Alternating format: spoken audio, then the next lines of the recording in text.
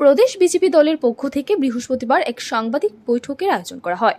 সাংবাদিক সম্মেলনে উপস্থিত ছিলেন প্রদেশ বিজেপি সম্পাদিকা পাপিয়া দত্ত ও যুব মোর্চার সম্পাদক রানা ঘোষ এবং বিপিন দেববর্মা সহ সদর আরবান জেলার সভাপতি। আগামী সতেরোই সেপ্টেম্বর প্রধানমন্ত্রী নরেন্দ্র মোদীর জন্মদিন উপলক্ষে সেবামূলক বিভিন্ন কর্মসূচি সারা রাজ্যে পালন করা হবে বলে জানান পাপিয়া দত্ত। সেবার এই মনোভাব নিয়েই নরেন্দ্র মোদীর জন্মদিন উপলক্ষে সতেরোই সেপ্টেম্বর থেকে দোসরা অক্টোবর অবধি বিভিন্ন সেবামূলক কর্মসূচি ও অন্যান্য অনুষ্ঠান সম্পন্ন হবে বলে পাপিয়া দত্ত জানিয়েছেন। এই কর্মসূচির মধ্যে জেলা ভিত্তিক রক্তদান শিবির, বুদ্ধিজীবী সম্মেলন এবং স্বচ্ছ ভারত অভিযান কর্মসূচি পালন করা হবে বলে জানান তিনি। তাই যেহেতু সেবাই সংগঠন, ভারতীয় জনতা পার্টি বিশ্বাস করে আমরা নরেন্দ্র মোদীজির জন্মদিন, দেশের প্রধানমন্ত্রীর জন্মদিন, আমরা প্রতি বছর আমরা সেটাকে সেবা দিবস হিসেবে এবং সেবা সপ্তাহ হিসেবে, পরবর্তী সময় আমরা পালন করে থাকি। এবারও সতেরোই সেপ্টেম্বর থেকে শুরু করে গান্ধী জয়ন্তী, দোসরা অক্টোবর পর্যন্ত যে পনেরো দিনের একটা সময়কাল মাঝখানে রয়েছে আমাদের যিনি পুরোধা পণ্ডিত দীনদয়াল উপাধ্যায় যে জন্ম জয়ন্তী যেটা পঁচিশে সেপ্টেম্বর আমরা পালন করে থাকি।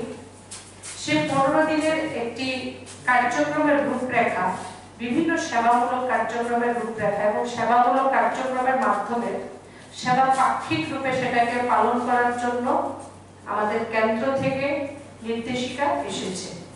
প্রধানমন্ত্রীর ধ্যান ধারণাকে প্রাধান্য দিয়ে স্বচ্ছ ভারত কর্মসূচি সহ বিভিন্ন সেবামূলক অনুষ্ঠান উৎসাহ উদ্দীপনার সঙ্গে সারা রাজ্যে আয়োজিত হবে বলে উল্লেখ করেন পাপিয়া দত্ত। জীবজ্ঞানে শিব সেবার আদর্শ মেনে চলা প্রধানমন্ত্রী নরেন্দ্র মোদীর এই জীবন দর্শনকে সামনে রেখে সারা দেশের সঙ্গে রাজ্যেও এই কর্মসূচিগুলি পালন করা হবে বলে জানান পাপিয়া দত্ত। সতেরো তারিখ যুব মোর্চার উদ্যোগে জেলা ভিত্তিক রক্তদান শিবির হবে।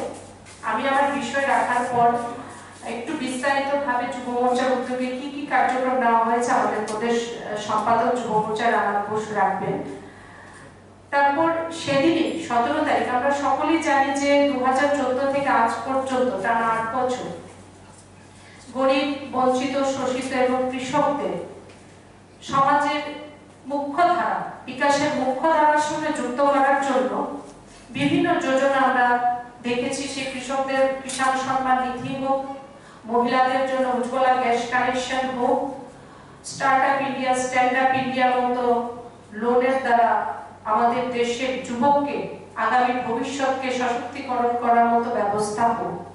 এই যে বিভিন্ন যোজনার যারা লাভার্থী, তারা প্রত্যেকেই সেদিন দেশের প্রধানমন্ত্রীজিকে তারা পত্র প্রেরণ করবেন, শুভেচ্ছা জানাবেন ওনার জন্মদিনে এবং ধন্যবাদ সাংবাদিক সম্মেলনে কর্মসূচির বিস্তৃত রূপরেখা তুলে ধরেন যুব মোর্চার সম্পাদক।